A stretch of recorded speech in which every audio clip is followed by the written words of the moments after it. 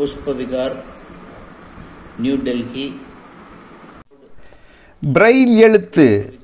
இனி அவசியம் இல்லை செல்போன் திரையே போதும். அரசு தேர்வுக்கு தயாராகும் பார்வையற்ற மாற்றுத்திறனாளிகள். அவர்கள் செல்போன் வைத்துத்தான் தொடுதிரையில் விரல் வைத்து நோண்டிக் கொண்டிருந்தார்கள். கூடவே காதில் வாக்மேனும். அத்தனை பேரும் பார்வை இழந்த மாற்றுத்திறனாளிகள். அவர்கள் நெல்லை தூத்துக்குடி கன்னியாகுமரி நாகர்கோயில் மதுரை ஈரோடு சேலம் தருமபுரி என்று தமிழகத்தின் சகல மாவட்டங்களிலுமிருந்து யாருடைய துணையுமின்றி தாமே பேருந்துகள் ஏறி பயணித்து கோவை வந்து ஹாஸ்டலில் தங்கி group one group two group three மட்டுமல்ல ஐஏஎஸ் தேர்வுக்காகவும் படித்து கொண்டிருக்கிறார்கள் என்றால் உங்களுக்கு ஆச்சரியமாக இல்லை? இப்படியான பார்வையற்ற மாற்றுத்திறனாளிகளுக்கு அரசு போட்டித் தேர்வுகளை எதிர்கொள்ளும் பயிற்சிகளை அளித்து வருகின்றன. கோவையில் உள்ள தேசிய பார்வையற்றோர் இணையமும் அம்பேத்கர் கல்வி வேலைவாய்ப்பு மையம். கோவை சிங்கநல்லூர் வரதராஜபுரம் பகுதி. இங்கே ஓர் ஒதுக்குப்புறமான தெரு ஒரு ஷெட்டின் கீழே தான் அவர்கள் குழுமி இருந்தார்கள். நாம் போனபோது பலர் அப்படி செல்போன்களை தடவிக் கொண்டிருக்க அவர்கள் நடுவே ஒரு மாணவி இரண்டு அம்பு போல ஒரு பொருளை வைத்துக்கொண்டு அதை தடவி தடவி மற்றவர்களுக்கு கதை சொல்லிக் கொண்டிருந்தார். இல்லை இல்லை. அவரின் வர்ணிப்பில் இந்தியாவின் புவியியல் அமைப்பே விரிந்தது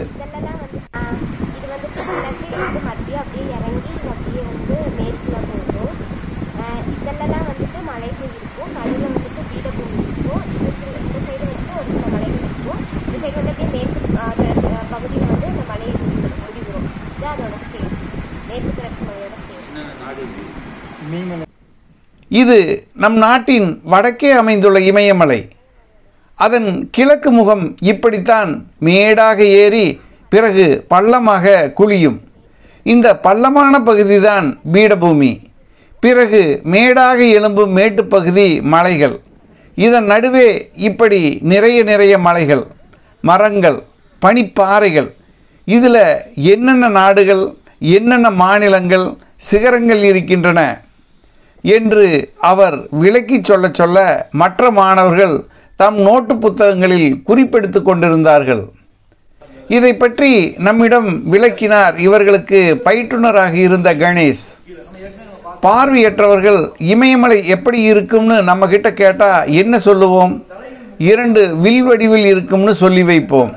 அப்போ வில் எப்படி இருக்கும்னு கேட்டால் உடனே வில்லையே செஞ்சு கொடுத்தா அவங்க தடவி தடவி பார்த்து புரிந்து கொள்வார்கள் இல்லையா? அதுதான் இது. இமயமலை இப்படித்தான் இருக்கும். இங்கே சரிவாக இருக்கும் பகுதி பீடபூமி. மலை உச்சியில் இருப்பது சிகரம். இப்படி சொல்லும்போது நம்ம கூடவே இவங்க டிராவல் பண்ணுறாங்க இதேபோல் பல்வேறு விஷயங்களுக்கு பல்வேறு முறைகளில் இவர்களுக்கு செயல் வடிவில் பாடம் இங்கே நடக்கிறது. அதில் ஒன்று செல்போன் தொடுதிரை. இவர்களுக்கு என்றே உருவாக்கப்பட்டுள்ள விசேஷ செயலியை டச் செய்தால் போதும். இவர்களுக்கான பாடங்கள் ஆடியோ வடிவில் ஒழிக்கின்றன அதை இயர்ஃபோன் வழியே கேட்டு புரிந்து படிக்கிறார்கள். இப்போது பிரெய்லி பாடமுறை பார்வையற்றோர் பள்ளிகளில் கூட அருகி வருகிறது. இதுதான் இப்போதெல்லாம் அங்கும் புழக்கத்தில் வந்துவிட்டது என்கிறார் கணேஷ். கற்பனை பண்ணி பார்க்கறது சிரமப்படும் ஆமா.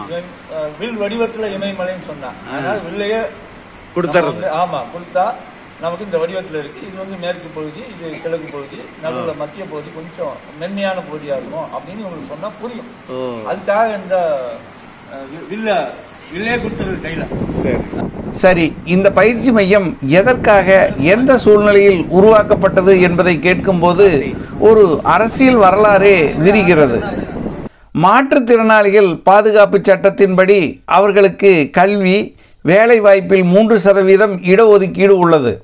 அதில் பார்வையற்றவர்கள் பெரும்பாலும் புறக்கணிக்கப்பட்டார்கள். எனவே உள் இடஒதுக்கீடு கேட்டு போராடினார்கள். உச்சநீதிமன்றத்தில் மனுவும் தாக்கல் செய்யப்பட்டது. இவர்களுக்கு ஒரு சதவீதம் உள் இடஒதுக்கீடு அறிவிக்கப்பட்டது. அந்த அடிப்படையில் கடந்த இரண்டாயிரத்தி எட்டாம் ஆண்டிலிருந்து அவர்களுக்காக ஒதுக்கப்பட்ட இடங்களை கணக்கெடுத்து நிரப்ப வேண்டும் என்று நீதிமன்றம் மத்திய அரசுக்கு உத்தரவு பிறப்பித்தது. இதன்படி நாடு முழுவதும் மாற்றுத்திறனாளிகளுக்கான இடஒதுக்கீட்டின் கீழ் பதினாலாயிரத்தி இருநூற்றி அறுபத்தி ஏழு பணியிடங்கள் இருந்தன. இதில் மூன்றில் ஒரு பங்கு இடங்கள் பார்வையற்ற மாற்றுத்திறனாளிகளுக்கு ஒதுக்கப்பட வேண்டும். அப்படி ஒதுக்கப்பட்டால் போதுமா? அவர்கள் தேர்வில் வெற்றி பெறும் அளவு தங்கள் தகுதிகளை மேம்படுத்தி கொள்ள வேண்டாமா? அதற்கான முயற்சியை முன்னெடுத்தது தேசிய பார்வையற்றோர் இணையம் என்ற தொண்டு நிறுவனம். ஆயிரத்தி தொள்ளாயிரத்தி எழுபத்தி மூணில் தில்லியில் அமைக்கப்பட்ட இந்த அமைப்பு இந்தியாவின் அனைத்து மாநிலங்களிலும் தன்னை விரிவுபடுத்தியுள்ளது. தமிழ்நாட்டில் ஆயிரத்தி தொள்ளாயிரத்தி எழுபத்தி ஆறிலும் ஆயிரத்தி தொள்ளாயிரத்தி எழுபத்தி ஒன்பதிலும் வந்தது. இந்த தேசிய பார்வையற்றோர் இணையம் இதற்கான பயிற்சி வகுப்புகளை ஆரம்பித்தது. அந்த வகையில் சென்னை மதுரை திருச்சி கோவை உள்ளிட்ட இடங்களில் ஏழு ஆண்டுகளுக்கு முன்பு அமைந்தது. பயிற்சி பெறுபவர்களுக்கு தங்குமிடம் உணவு போக்குவரத்து செலவு எல்லாமே இந்த அமைப்பு ஸ்பான்சர் மூலமே செய்தது. இதில் கோவையில் மட்டும் கடந்த ஆறு ஆண்டுகளில் இங்கே பயிற்சி பெற்றவர்கள் நூற்றி இருபது பேர். வங்கி டிஎன்பிஎஸ்சி ரயில்வே ரெவின்யூ எல்ஐசி என பல்வேறு துறைகளின் பதவிகளுக்கு சென்றுள்ளனர். நாம் போனபோது நாற்பது பேர் படித்து கொண்டிருந்தனர். முப்பது நாள் முதல் நாற்பத்தைந்து நாட்கள் வரை பயிற்சி கொடுத்து கொண்டிருந்தார்கள்.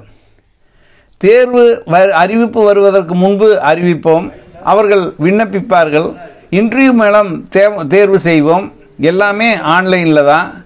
இதுக்கு ஒரே தகுதி பார்வை குறைபாடுள்ள மாற்றுத்திறனாளிகள் மட்டும்தான். நாற்பத்தஞ்சு நாள் கிளாஸ் பத்தாம் வகுப்பு முதல் முதுகலை பட்டம் பெற்றவர் வரை பயிற்சி கொடுக்கிறோம். ஐஏஎஸ் ஐபிஎஸ் தேர்வுக்கு பயிற்சி பெறுவதற்கு கூட முயற்சிகள் மேற்கொண்டு வருகிறோம் என்றார் இதன் பயிற்றுனர் கணேஷ். பயிற்சி பெறுபவர்கள் கோவை மண்டலத்திலிருந்து மட்டுமல்ல தமிழகம் எங்கும் இருந்தும் வந்திருந்தார்கள். நாம் சென்றபோது கூட தூத்துக்குடியிலிருந்து கஸ்தூரி பேச்சி என்பவர் பிஏ பிஎட் படித்து முடித்துவிட்டு இங்கே வந்து குரூப் ஃபோர் ப தேர்வுக்காக பயிற்சி பெற்று கொண்டிருந்தார். எங்கிருந்து வர்றீங்க? இது இந்த கிளாஸுக்கு வரணும்னு எத்தனை வருஷம் எத்தனை மாதம் முன்னாடி திட்டமிட்டீங்க? எப்படி? நாங்கள் கோச்சிங் வீட்டில் இருந்தால் படிக்க மாட்டோம்னு சொல்லிட்டு கோச்சிங் கிளாஸ் தேனோம் சார். அப்போ கோயம்புத்தூர்ல இருக்குன்னு தெரியும். ஆனால் கொரோனானால ஆரம்பிக்கல. சரி.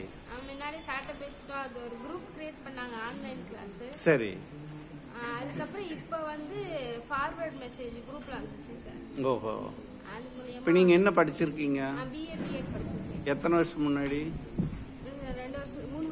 மூணு வருஷம். என்ன பண்ணிட்டு இருந்தீங்க? கூட பின்னி கொடுத்தேன் சார். அப்படியா? அப்பா அம்மா என்ன பண்றாங்க? அப்பா வந்து சேல்ஸ்மேன் சார். ஓ அம்மா? அம்மா வீட்டில் தான் சார். கூட பிறந்தவங்க? கூட பிறந்தாங்க அண் அண்ணன் தங்கச்சி தம்பி சார். சரி இப்போ நீங்கள் வந்து இதுக்கு எஃபர்ட் எடுத்து வர்ற அளவுக்கு வீட்ல எல்லாம் ஒத்துழைக்கிறாங்களா? உங்களுக்கு இந்த அரசு வேலைக்கு போகணுங்கிற ஆர்வம் சிறுசுல இருந்து சின்ன வயசுல இருந்தே இருக்கா அப்ப என்னன்னு தெரியாது சார் அதுக்கப்புறம் தான் தெரியாது ஓஹோ. இப்போ இவ்வளோ தூரம் வர்றீங்களா? உங்கள் ஊரில் தூத்துக்குடியில் வந்து தூத்துக்குடியில் அருப்புக்கோட்டையா? அங்கேருந்து இங்கே வர்றீங்களா? அங்கெல்லாம் இந்த மாதிரி கோச்சிங் சென்டர் இல்லையா? ஓ இங்கே கோயம்புத்தூர் தான் படிச்சிங்களா? எந்த காலேஜில் ஓஹோ. அரசு ஆசிரியர் பயிற்சி பள்ளியில் படிச்சிங்களா? பயிற்சி கல்லூரி இல்ல ஓ சரி. இப்போ இது பரவாயில்லையா? உங்களுக்கு எப்படி இப்போ இதுக்கெல்லாம் செலவுகள்லாம் ஒன்றும் இல்லை வெவ்வேறு கோச்சிங் சென்டரில் நிறைய வசூல் பண்ணுறாங்க இல்லையா? அதுக்கெல்லாம் ட்ரை பண்ணி பார்த்தீங்களா?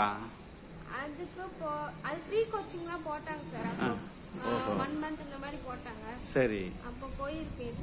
ஓ இங்கே எத்தனை நாள் தங்கி இருக்கணும்?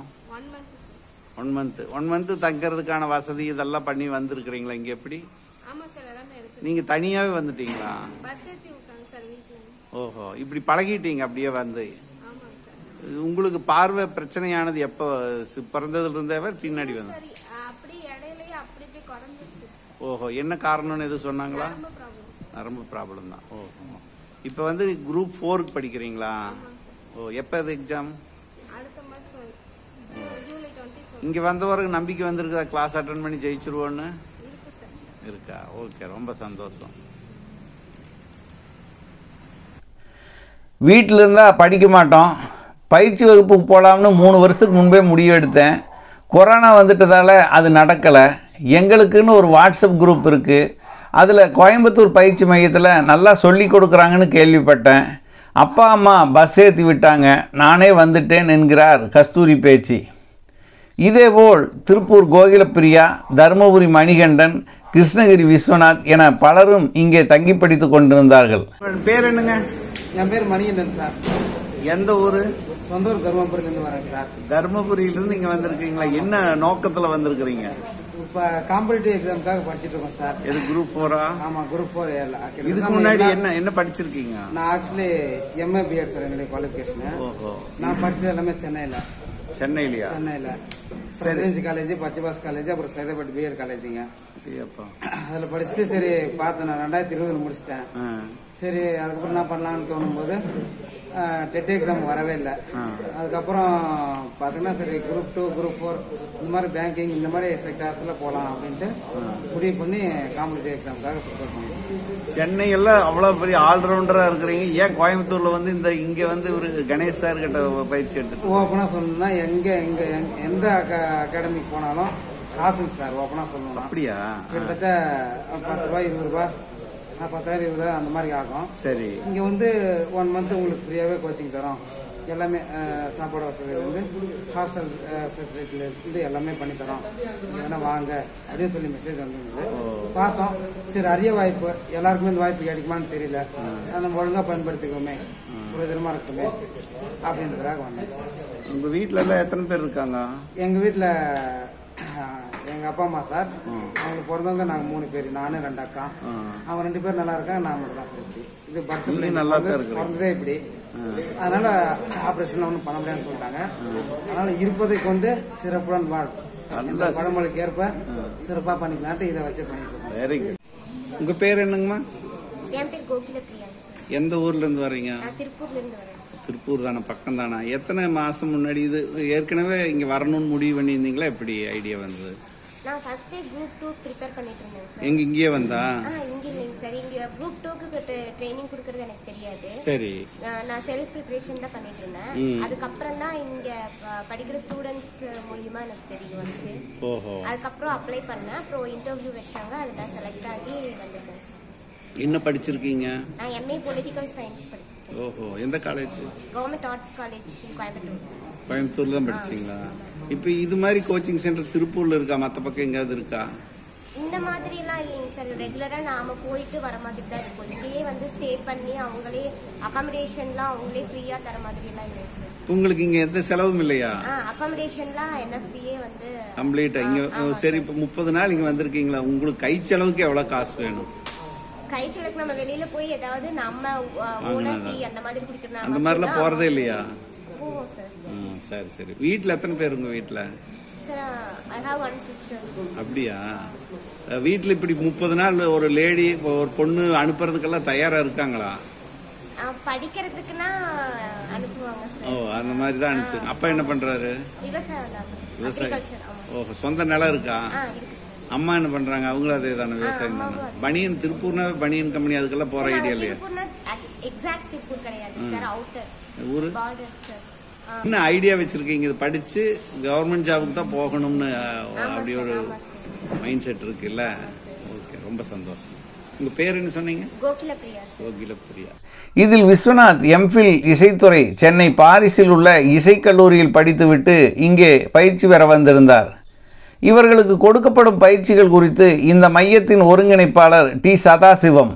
இவரும் பார்வையற்ற மாற்றுத்திறனாளிதான். நவம்பர் டிசம்பர் புக் கிடைக்கும்.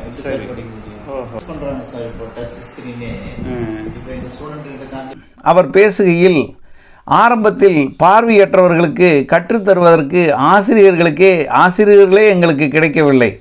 தனியார் பயிற்சி நிறுவனங்கள் எதுவுமே முன்வரவில்லை. இந்நிலையில்தான் அம்பேத்கர் கல்வி மையம் வேலைவாய்ப்பு மற்றும் பயிற்சி மையம் அவர்களுக்கு இலவசமாக இந்த கல்வியை கற்றுத்தர முன்வந்தது இதில் சிறப்பு என்னவென்றால் இந்த மையத்தில் போட்டித் தேர்வுகளுக்கு பயின்று வரும் பட்டதாரிகளும் போட்டித் தேர்வுகளில் வெற்றி பெற்ற பட்டதாரிகளும் வந்து பார்வையற்றவர்களுக்கு சொல்லிக் கொடுத்து கொண்டிருக்கின்றனர் என்றார். அம்பேத்கர் கல்வி மற்றும் வேலைவாய்ப்பு மைய ஒருங்கிணைப்பாளர் கணேஷ் பேசும்போது பொதுவாக சாதாரண மாணவர்கள் வகுப்பில் பாடத்தை கவனிக்கிறார்களா என்பதை அவர்களின் கண்ணை பார்த்து அறிவோம். ஆனால் இங்கு நாங்கள் கற்றுத்தருவதை கேட்டு பார்வையற்ற மாற்றுத்திறனாளிகள் காட்டும் முகபாவனைகள் எங்களுக்கு மேலும் ஊக்கமளிக்கிறது.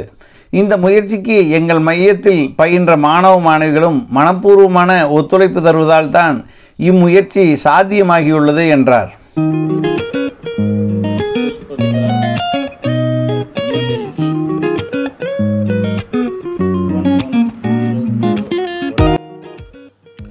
கணேஷ் மற்றும் சதாசிவம் அவர்களின் பேட்டி அடுத்த பகுதியில்.